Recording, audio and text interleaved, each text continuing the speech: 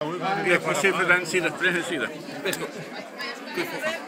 Um, I think the solution should come from the society, although we should accept that the politicians and media do have a great impact on the framing of problems. And in particular, I think the debate between the Danish People's Party and the other parties uh, is important in the sense that the People's Party only has the influence the other parties allow it to have.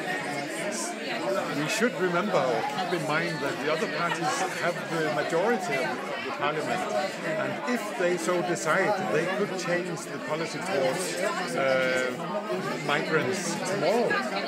But it seems they accept that the People's Party will will uh, define uh, what Danish policy should be about. Oh, great. So, in other words, so you believe the question I want to ask you now is this: Do you think the way in which the problem regarding Muslims uh, is debated in Denmark is reflection of how little the Danes as such know about this religion because it is fair to say it is quite violent in this part of the world. Is it because of the ignorance or is it just because they are dead afraid of what they call Muslims? I think a lot of Danes are afraid or they worry about the impact of migration. It seems uh, that a lot of Danes think that uh, we have a lot more migrants than we actually have.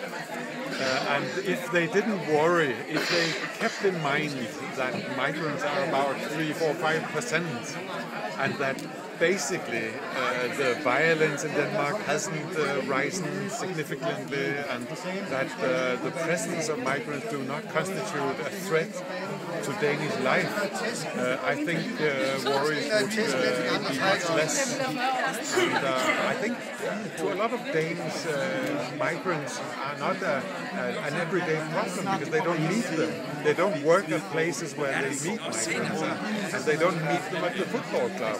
They hear about them from the politicians and the media. That's, that's a fantastic point. Now, to go back to the uh, topic of the debate, it was to which extent you know the Muslims are a problem or added value.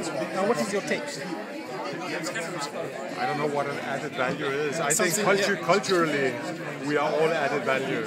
And if the music and new traditions, food, etc., uh, come to add value to Denmark, it's it's great. And I think, in fact, Danes started loving uh, Italian food and Spanish food at the time uh, migrants started coming to Denmark back in the 60s. Uh, when it comes to economic value, uh, added value, it's probably true to the extent that a lot of the migrants do jobs that Danes uh, traditionally didn't like to do. So it's right. added, added value, and even more so now when we're going to need more labor coming from outside. Okay, so last question I want to have for you on behalf of the Copenhagen Voice. Do you project someday in Denmark a prime minister that is Muslim?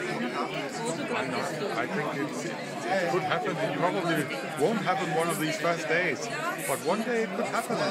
But uh, you know, most Danish prime ministers have been from the same uh, small uh, Christian sort as well. We haven't had an, uh, I don't know what they're called, in, Inner Mission uh, Danish prime minister. We haven't had a Jewish prime minister. We haven't had a Catholic prime minister.